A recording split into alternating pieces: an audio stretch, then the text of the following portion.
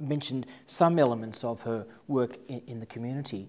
But am I right that both uh, her mother, Gertrude Blum, and Keithie have been recognised by government? Yes. I wonder if you could tell us about uh, yeah, those okay. achievements. Well, Keithie's mother, for many, you know, she was mother to everyone. And she did a little, a lot of work in the, the Red Cross and just, uh, her home was, if anyone came, they ended up with a cup of tea and a piece of banana cake. So she was honoured in the 80s with the award, the MBE, the Member of the British Empire.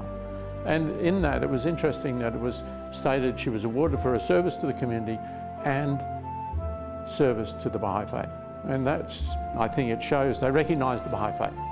Then Keithie, with all her work um, with the, as you mentioned, the garden uh, beautification, when there's been big conferences, Keithie would be asked to help organise the event, like for instance 50 heads of state of, uh, from the Commonwealth countries had a conference for uh, youth ministers. Well, she was a very integral part of that, as were very other senior people. So it was that sort of thing, and I, again, I think recognising what her parents, because the name Blum has not died in the Solomons.